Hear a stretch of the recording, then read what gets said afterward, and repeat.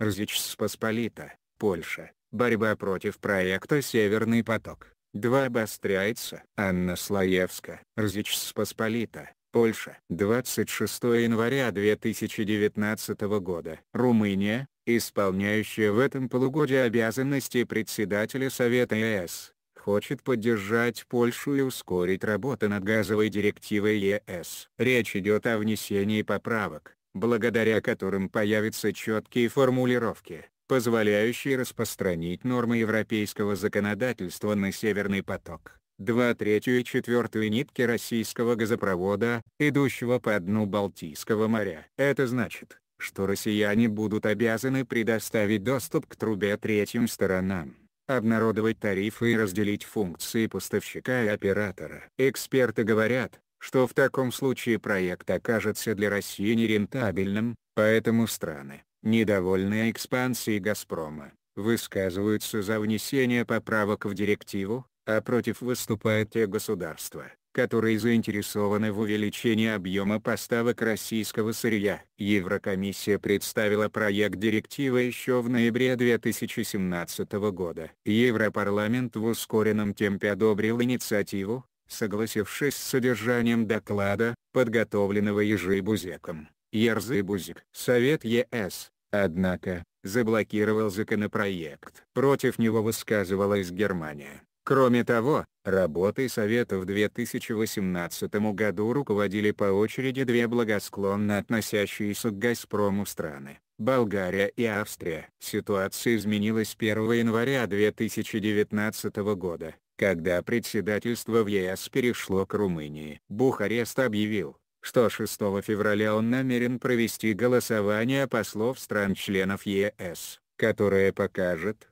готовы ли большинство стран поддержать новую директиву. Это хорошая новость для Польши. Чем быстрее состоится голосование, тем больше будет шансов на то, что директиву утвердят еще до очередных выборов в Европарламент, то есть до мая. Задержка осложнит ситуацию, ведь может оказаться, что строящийся сейчас «Северный поток-2» будет уже готов. Однако гарантий того, что проект будет одобрен, нет. Брюссельские дипломаты обращают внимание, что хотя 13 государств высказываются за поправки, чтобы их принять, потребуется получить согласие большинства, то есть в том числе трех крупных и продолжающих колебаться стран – Испании, Италии и Франции. Польше и ее союзникам придется попытаться склонить их на свою сторону. В свою очередь, Германия и ее союзники могут заблокировать инициативу, сформировав так называемое блокирующее меньшинство. Для этого будет достаточно,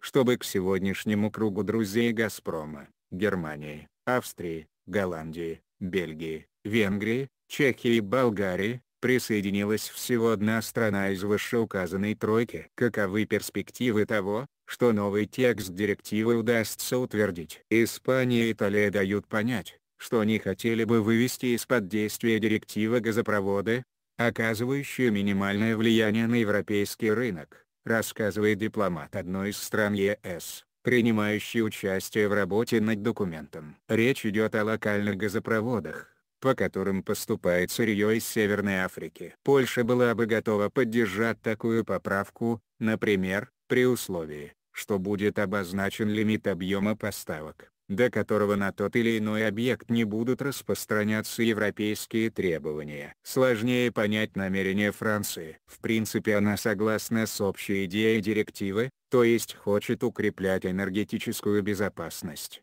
говорит дипломат. При этом французы будут руководствоваться в своем решении политическими соображениями. Париж должен взвесить, стоит ли выступать против Германии в таком важном для нее вопросе подчеркивает другой наш собеседник. Дипломаты признают, что на переговорах Берлину будет легче, чем Варшаве, склонить на свою сторону другие страны. Но судьба директивы еще не предрешена. Возможно также, что Румыния с подачи Германии в последний момент откажется от проведения голосования. Это, однако, менее вероятный вариант развития событий. Румыния испытывает давление также с другой стороны, представленной не только Польшей, но и США, важным союзником Бухареста. Американцы угрожают ввести санкции против европейских компаний, которые входят вместе с «Газпромом» в консорциум, занимающийся строительством Северного потока, 2,